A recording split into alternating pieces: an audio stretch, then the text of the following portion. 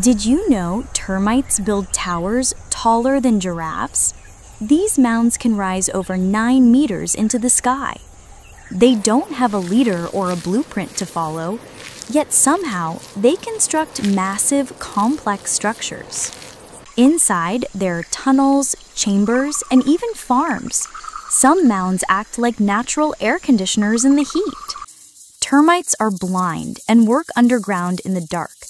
Still, their coordination is shockingly precise. So, how do millions of insects build such intelligent designs? And how do they know what to build without ever seeing it? The answer lies in their pheromones and simple instincts. Each termite follows chemical trails left by others. When one finds a good building spot, it drops a scent. Others follow, repeating the action to reinforce the signal. This feedback loop tells termites where to place mud.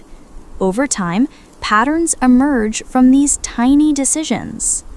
The result is a giant self-organized construction. It has airflow channels, moisture zones, and storage areas.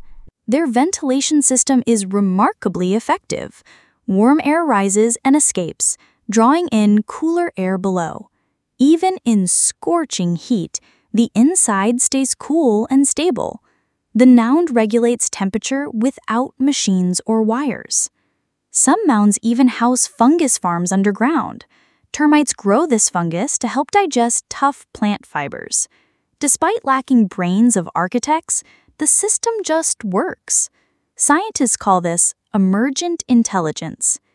Each termite acts on local cues, not a big picture. But together, they form a living machine of coordination. Engineers now study termite mounds for building ideas, especially for energy-efficient designs that cool themselves. From chaos comes structure. From instinct comes intelligence. Termites prove that nature builds smarter than we think.